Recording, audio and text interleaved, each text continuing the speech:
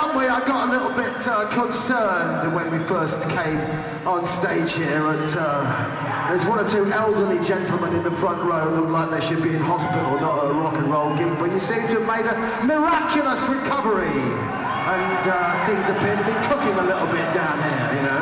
I just hope we don't have too many coroners by the end of the evening. How are you in the expensive seats up there, all right? Not going to nosebleed or anything from the high altitude? Very good, very good. We have a new album. Ooh.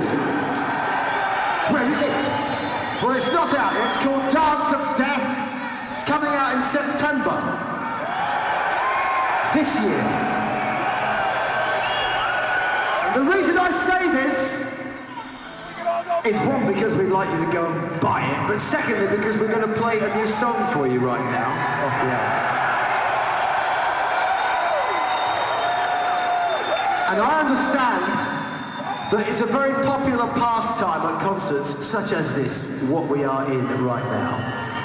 For people to bring cameras and uh, tape recorders and things, and tape record songs and send them to their friends on something called the internet.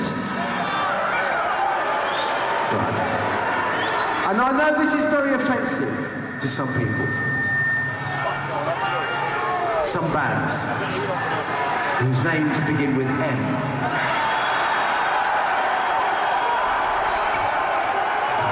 But I'll let you into a secret. We don't really mind. It's okay if you want to share shit with your friends, all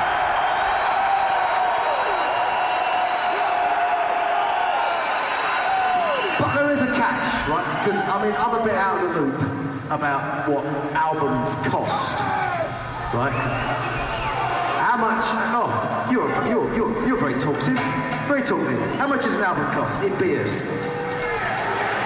Six, four beers. What kind of fucking beer are you drinking? Oh, Sam Adams. Okay, yeah, fucking that's cool. You like Sam Adams? Yeah. All right. So, at a cost of four beers, you can buy the next Iron Maiden album. However, if it sucks, if it's a piece of shit like 90% of the records released by the so-called music industry these days, and they wonder why nobody's buying any fucking records, they're all bullshit. But um, if it sucks like, like, like a lot of records these days, then you can go and give it away to all your friends, fuck you like with it, because we deserve everything we get if we tell you a record's good and it's shit, all right? However, on your honor, right, for the sake of four beers, for God's sake, do the decent thing. If it's a decent record, just go and spend four beers and buy it, all right?